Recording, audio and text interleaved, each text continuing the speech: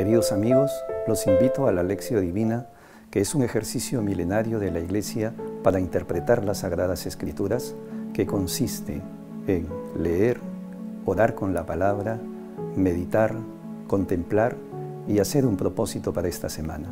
Acompáñenme. Oración inicial. Santo Espíritu de Dios, amor del Padre y del Hijo, ilumínanos con tus dones para que podamos comprender los tesoros de la sabiduría que Jesús nos quiera revelar en este día. Otórganos la gracia para meditar los misterios de la palabra y revélanos sus más íntimos secretos. Madre Santísima intercede ante la Santísima Trinidad por nuestra petición. Ave María Purísima, sin pecado concebida.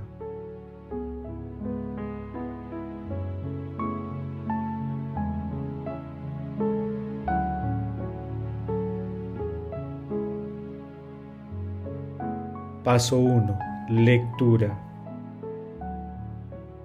Lectura del Santo Evangelio según San Mateo capítulo 25 versículos del 31 al 46.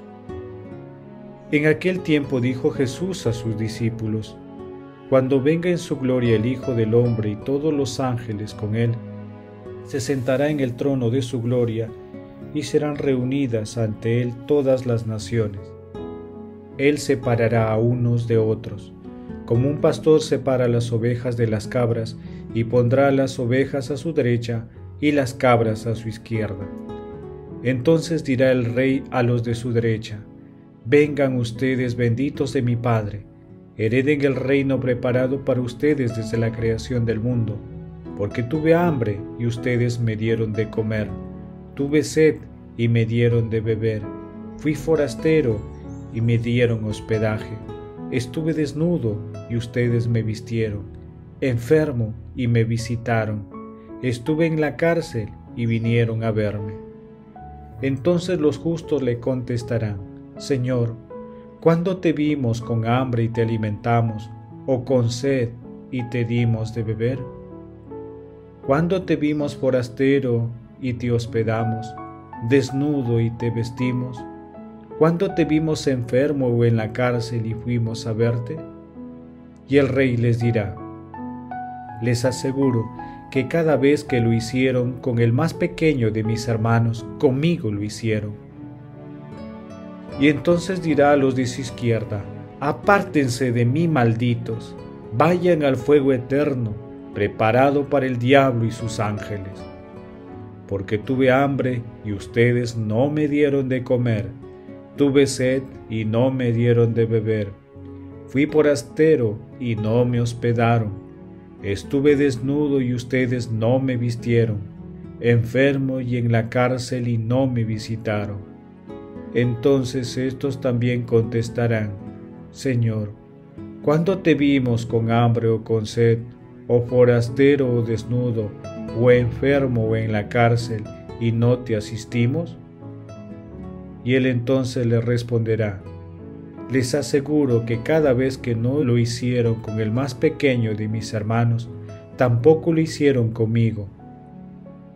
Y estos irán al castigo eterno y los justos a la vida eterna.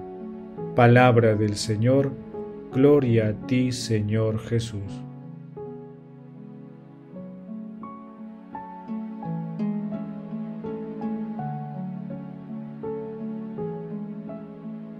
En la solemnidad de Jesucristo, Rey del universo, meditamos la parábola del juicio a las naciones. Con este discurso nuestro Señor Jesucristo insiste en la preparación que debemos tener para superar con éxito la prueba final. Por ello debemos advertir que el Rey universal está presente, de incógnito, en todos los pobres de la tierra, oculto entre los rostros de los que sufren, pero esa presencia oculta se manifestará en el momento final. En tal sentido, el destino final de cada persona se decide en la actitud que tenga ante los necesitados de este tiempo, ya que Jesús será el testigo principal para evaluar la vida de cada uno. Jesús muestra el momento culminante de nuestras vidas, el Rey de la Gloria, rodeado de ángeles, se siente en su trono y todas las naciones comparecen ante él.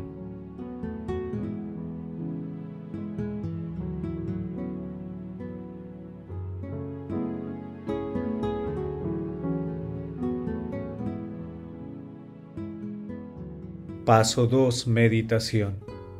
Queridos hermanos, ¿cuál es el mensaje que Jesús nos transmite el día de hoy a través de su palabra? El mensaje de hoy es claro y contundente. Si dejamos de hacer el bien a nuestro prójimo, dejamos de hacer el bien a Jesús, fuente y origen de toda bondad. El criterio decisivo transita por un corazón compasivo y misericordioso, porque los pobres son la esencia del Evangelio. Jesús, como un buen pastor, se preocupa por su rebaño, por la salvación de sus ovejas.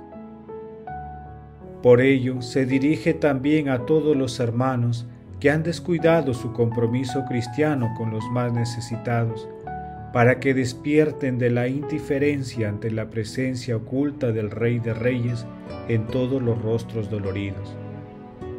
Para nuestro Señor Jesucristo las personas más importantes son los más débiles, con quienes se identifica plenamente.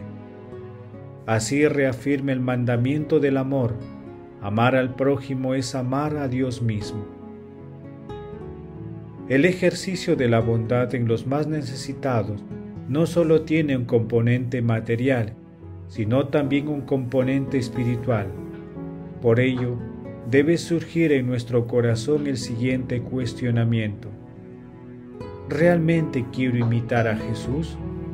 ¿Nos conmueve los sufrimientos de nuestros hermanos que hacemos ante estas situaciones?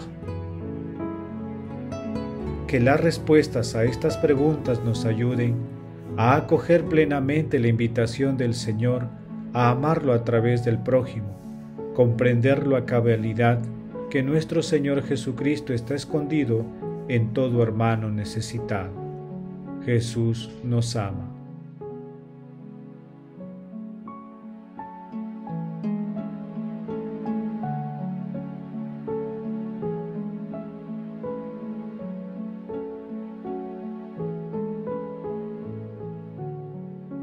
Paso 3. Oración. Amado Jesús, Rey de la Gloria, tú que estás en nuestro hermano débil, vas siempre a nuestro encuentro con humildad, sin esplendor, sin poder ni pretensiones. Tu indigencia es un grito callado. Señor, haz nuestro corazón compasivo para consolarte. Danos manos atentas para abrigarte y saciar tu hambre, pies ligeros para ir a visitarte. Haz que nuestra existencia en la tierra una incansable peregrinación de caridad con nuestros hermanos más débiles, para que llegados finalmente al umbral de tu reino, podamos oír la invitación, venid benditos. Amado Jesús, mira con bondad y misericordia las almas del purgatorio y alcánceles la recompensa de la vida eterna en el cielo. Madre Santísima, Madre de la Iglesia, intercede ante la Santísima Trinidad por nuestras peticiones. Amén.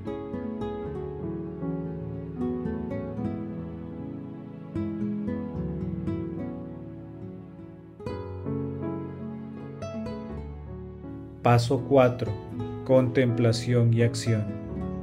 Hermanos, contemplemos a nuestro Señor Jesucristo con una homilía de San Juan Crisóstomo. El paraíso cerrado durante miles de años hoy ha sido abierto por la cruz, porque hoy Dios ha introducido en el paraíso al buen ladrón. Se realizan dos milagros. Abre el paraíso para que entre un ladrón. Hoy Dios nos ha devuelto a nuestra vieja patria. Hoy nos ha reunido en la ciudad de nuestro origen. Hoy ha abierto su casa a la humanidad entera.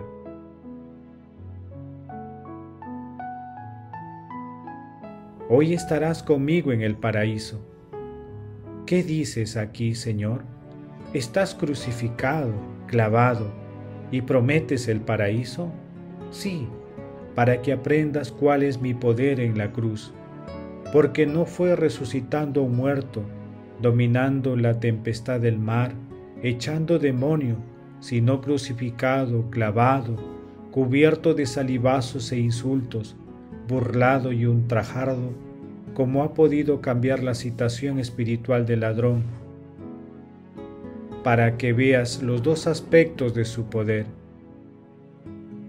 Hizo estremecer a toda la creación, hendió las rocas y atrajo hacia sí al ladrón más duro que una piedra.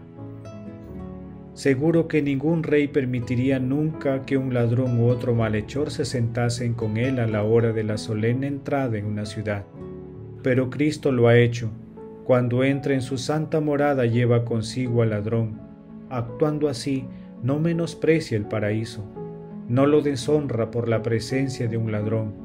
Al contrario, honra el paraíso, porque es una gloria para el paraíso tener un amo que pueda convertir a un ladrón en un ser digno de gustar sus delicias. Lo mismo cuando conduce al reino de los cielos a los publicanos y prostitutas. No es un desprecio sino un honor, ya que muestra que el amo del reino de los cielos es poderoso como para ser dignos de tales dones y honores a los publicanos y prostitutas.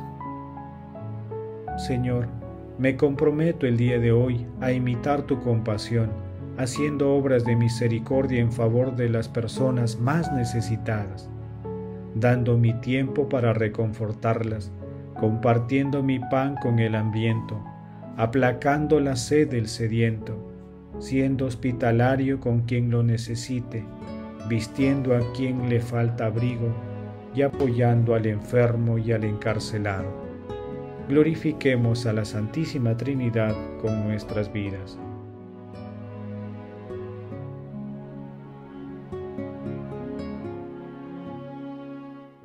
Oración final. Gracias Señor Jesús por tu palabra de vida eterna. Que el Espíritu Santo nos ilumine para que tu palabra penetre a lo más profundo de nuestras almas y se convierta en acción. Dios glorioso, escucha nuestra oración bendito seas por los siglos de los siglos. Madre Santísima, intercede ante la Santísima Trinidad por nuestra petición. Amén.